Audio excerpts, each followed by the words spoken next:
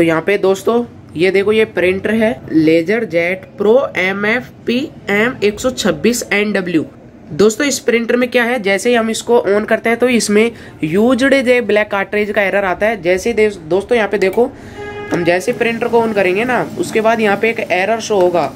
आप यहाँ पे देखो, अभी ये ऑन हो रहा है। यहाँ पे मैं अभी आपको एरर दिखाता हूँ। ये ऑन होने में, दोस्तों, थोड़ा बहुत टाइम लेगा। अगर आप चैनल पर नए हो तो चैनल को सब्सक्राइब ज़रूर करें और वीडियो को लाइक ज़रूर करें दोस्तों। दोस्तों यहाँ पे ये अभी प्रोसेसिंग चल रही है।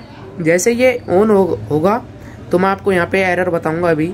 दोस्तों ये देखो ये यहाँ पे ऑन हो चुका है। अभी हम इसमें ओके की प्रेस करेंगे। जैसे ही हम ओके प्रेस करेंगे तो उसके बाद अब आप यहाँ पे देख सकते हो। यहाँ पे मैं आपको यहाँ पे जूम करके दिखा देता हूँ। ये देखो दोस्तों, यहाँ पे ये ऐसे साफ़ नहीं आ रहा, मैं यहाँ पे अभी एक फ़ोटो डाल दूँगा। ये देखो used black cartridge in use दोस्तों, आप, अगर आपके भी यही यही एरर आता है तो आपको सिंपली ये दोस्तों, ये जो कार्टरेज आप जैसे ड्रॉर ओपन करोगे, उसके बाद यहाँ पे जो कार्टरेज है दोस्तों ये, इसमें दोस्तों ये चिप है ये।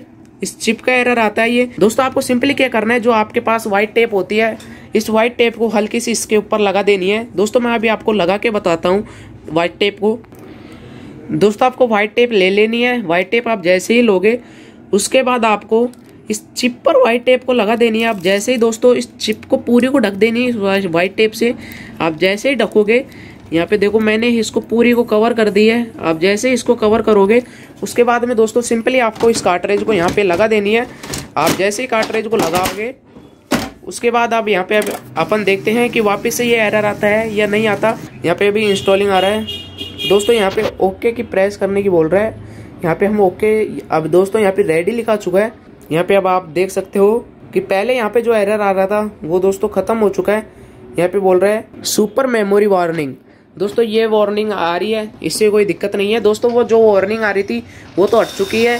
दोस्तों, वो वार्निंग हमारी जो चिप होती है, उसकी चिप की प्रॉब्लम आ रही है। अगर आपके भी ऐसी प्रॉब्लम आती है तो आप सिंपली व्हाइट टेप का यूज़ कर सकते हो। व्हाइट टेप नहीं तो जो वो खाकी रंग की टेप आती है, उसका भी यूज़ कर सकते हो।